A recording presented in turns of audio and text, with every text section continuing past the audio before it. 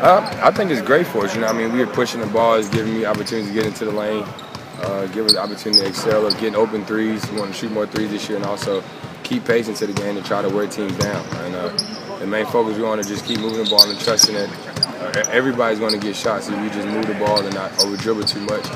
And uh, that'll help with my turnovers. I think at times we'll have to create as much because other guys can put the ball on the floor. And uh, we also just want to focus on keeping our, def- our transition defense. That's the key. I think we're giving up like 26 points a game right now, and that's the key you can't have going into the regular season. John, uh, what are you expecting from Toronto tonight? It's the last kind of preseason game, closest thing you have to a real game right now because you tip it off for real. What are you guys expecting from Toronto tonight? Well, we know they're a good team. They're, they're a hard, grinding, gritty team. I mean, they got two great players in DeMar and uh, Kyle Lowry. That's the uh, key to their team, but they have other guys that's great role players, I think.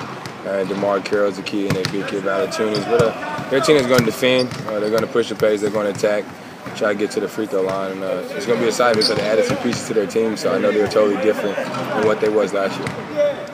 John, you've been talking about wanting to be in the MVP conversation in the NBA this year. What's the one major thing you want to improve to be in that conversation? I think just winning more games. I mean, you win 50 plus games. I think getting in that conversation. Uh, you got to be top in your conference, and uh, I just think also just uh, being able to make shots, make open threes for myself, for my teammates, and uh, keeping my turnovers down. John, is there is there anyone on your uh, among your teammates that stood out that really took a big step forward? I think everybody has. You know, I mean, just from last year improving, I think everybody have. And uh, just adding in new guys, and, and Jared, I think he's going to be a big key to our team. And adding uh, Gary Neal and all those guys, I think Otto come back with a lot of confidence that he had last year coming from the playoffs. So uh, that's key for our team because he's in our starting lineup. What do you think is the missing piece right now for this Wizards team? Uh, right now, I don't think we. Have, I think we just got to get guys healthy. I mean, we have guys like Alan Anderson out right now, and Nene's out.